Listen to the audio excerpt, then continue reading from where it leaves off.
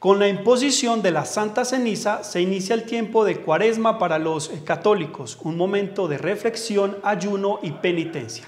Esto como preparación para la Semana Mayor.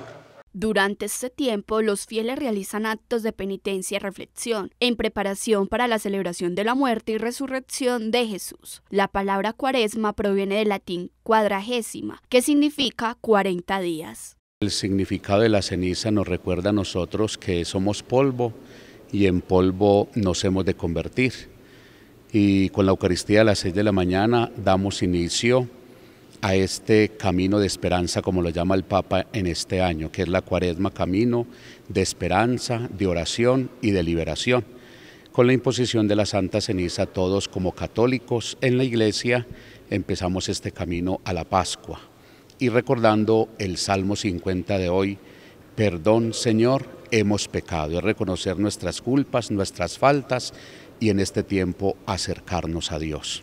Desde la Iglesia la invitación es a que los cambios que las personas asumen durante la Semana Santa sean compromisos de toda la vida. Nos pide el Señor hoy en el Evangelio las prácticas que tenemos, como es la caridad, como es la oración y como es el ayuno. Y estas prácticas nos sirven para que todos nosotros pues nos fortalezcamos en la fe, en la esperanza, en el amor y salgamos victoriosos también en la tentación.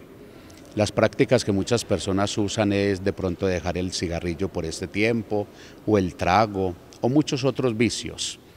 Qué bueno que el, propósito no sea por cuaresma nomás, sino que nos dure para toda la vida, ya que sabemos que estos vicios pues son precisamente contra el quinto mandamiento, que es cuida tu propia vida y la de los demás.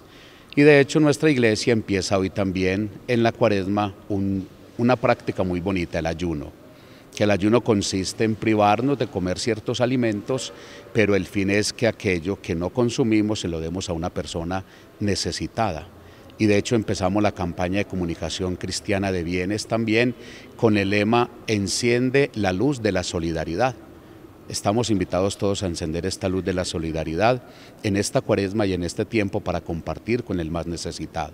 Desde la Iglesia Católica se invita a los habitantes del municipio a tomar la cuaresma como una época de reflexión y cambio es que nos acerquemos a Dios en este tiempo, como dice la segunda lectura, es un tiempo de gracia, es un tiempo de salvación.